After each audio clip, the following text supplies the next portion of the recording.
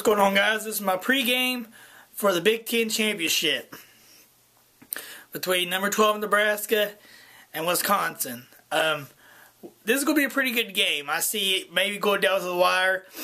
And uh, it depends on how good Wisconsin can slow down the running of uh, Martinez and uh, uh Danny Burkhead. Um, both teams have good running backs, like I just mentioned, Burkhead, and then uh, Wisconsin's got Montee Ball, and Wisconsin's game key plan is going to be able how good they can uh, run against Nebraska's defense and uh, get Montee Ball going, and also uh, James White is there, so uh, that's pretty much a two-headed monster.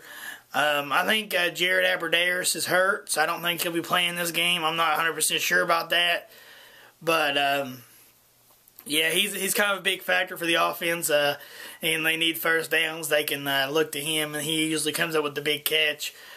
But um, yeah, I mean, really, guys, uh, I think Wisconsin's got a good chance to pull the upset. Um, they that defense did a good job of slowing Braxton Miller down of Ohio State and uh, slowing his run ability down, so they could contain like they did against him on uh, Nebraska's quarterback. I think they got a good chance to win. But um, yeah, I mean, pretty much that's all I really got to say.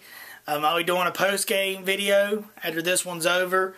So uh, come back to my channel, come check it out, and uh, see if you like what we're doing. I hit the like button, the subscribe button, whatever you like to do. Um, that's it. Mountaineer Mitch signing out. Peace.